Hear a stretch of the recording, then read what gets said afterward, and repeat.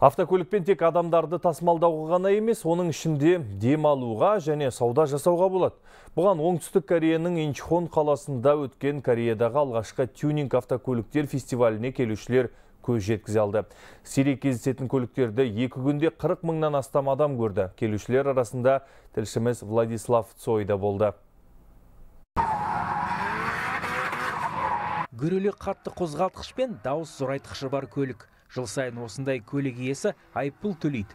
Өйткені қала тұрғындары тыншымызды бұзды деп шағымданады. Жығылған күреске тоймайды. Сөйтсе де көлігін түрлі тәсілмен сәндеуді сүйетін жүргізуші дәстүрлі түрде фестиваль ұйымдастырып тұрады. Міне осындай кезекті шара бүгін өтті. Қатысушылар қасына жолаушы алып, көліктерінің шапшандығын көрсету үшін жүйткіп жүрді. Үкімет те бұл саланы өзектен теуіп отырған жоқ.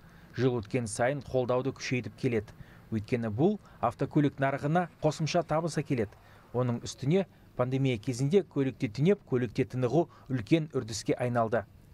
Теледидар микротолқынды пеш тоңазытқыш шатырдағы шам мұның барлығы күн батареяларымен қуаттандырады. Ал құрылғының өзі бір рет толық қуаттандырылған соң үш күн бойы үздіксіз тоқ бере алады.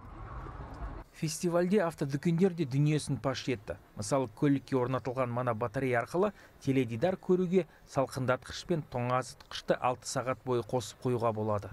Оның сыртында мүгедектігі бар адамдарға қолайлы жағдайда жасалған. Яғни арбадан түспей ақ көлікке отыруға болады. Елде көлікке түрлі механизм орнатып бес аспап етуге машықтанған арнайы компания көп дегенмен темір тұлпарын өз күшімен икемдеп алатындар да бар. Ол үшін тиісті мекемеден рұқсат алу керек.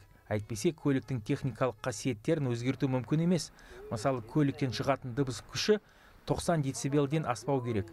Машинаның жалпы салмағы тиісті мөлшерден 20 процент асып кетуге де болмайды. Бұл саланы жандандыру үшін біз тюнингті реттеу талаптарын жеңілдетеміз. Келер жылға дейін тюнинг автомобильдерін сынайтын сервис орталығын аяқтауды жоспарлап отырмыз.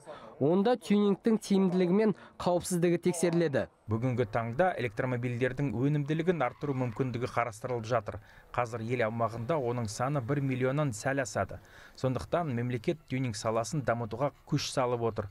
Өйткені нарықта салаға сұраныс бар.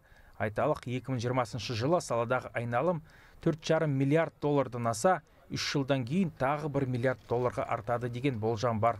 Владислав цой ольга лян хабар 24 оңтүстік корея.